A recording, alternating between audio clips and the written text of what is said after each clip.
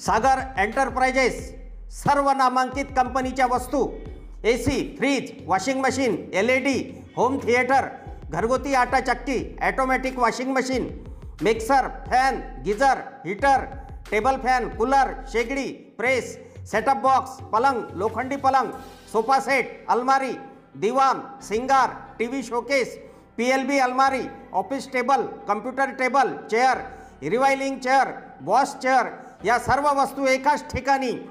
सागर enterprises जुना police स्टेशनच्या मागे Jama Masjid road Digras. Proprietor Abdul Sattar Maniyar proprietor Shaikh Imran Digras. नमस्कार मी ऋषिकेश हिरास. आपण पाहतात महाराष्ट्र ट्वेंटी फोर न्यूज. एक ब्रेकिंग न्यूज येत आहे. डोळंबावाडी येथे गोठ्यासह ट्रॅक्टर जळाला. बांध्यावर लागलेली आग पोहोचली गोठ्यात.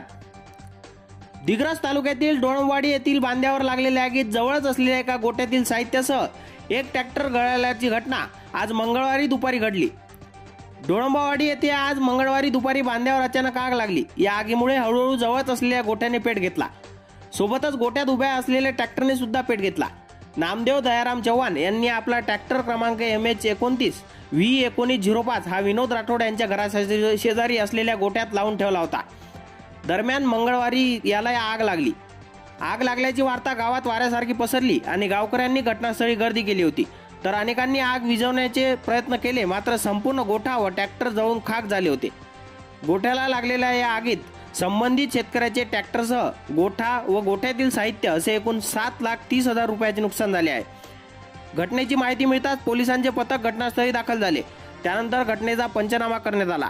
मात्र बांधावर आग कशामुळे लागली याचे कारण कळाले नसून पुढील तपास पोलीस निरीक्षक पांडुरंग फाडे यांच्या मार्गदर्शनात दिग्रस पोलीस करीत आहेत. अफजल खान सुरेश चिडे यांच्यासह मिरुष केशिरास Maharashtra twenty four news Digras Yavatmal.